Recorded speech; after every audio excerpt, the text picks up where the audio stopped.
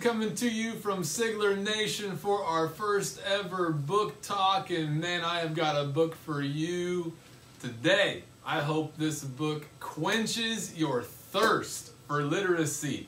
We're talking to you about The Lemonade War by Jacqueline Davies. Right now, we are one school, one book, up to our eyeballs and lemons over here in Sigler Nation. We are reading this book, the whole school community. So if you're interested in a, in a book that's talking about sibling rivalry, making some money, spending time outdoors over the summer months, this book is for you.